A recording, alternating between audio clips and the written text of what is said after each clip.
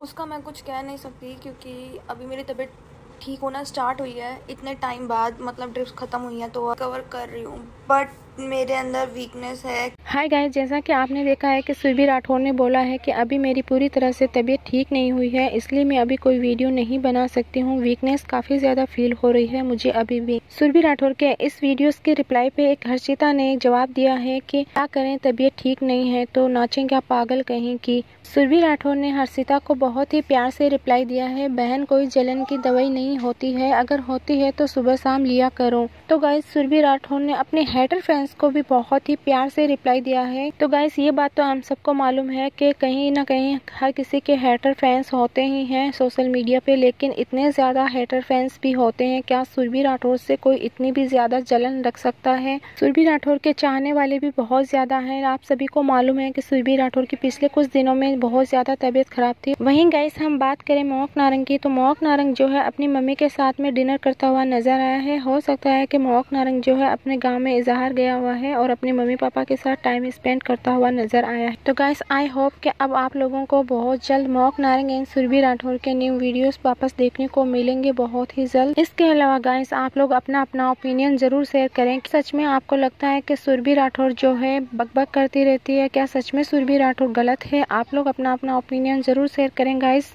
इसके अलावा अगर आप लोगों को ये अपडेट अच्छी लगी है तो वीडियो को लाइक करें शेयर करें कमेंट करें। Thank you so much my YouTube family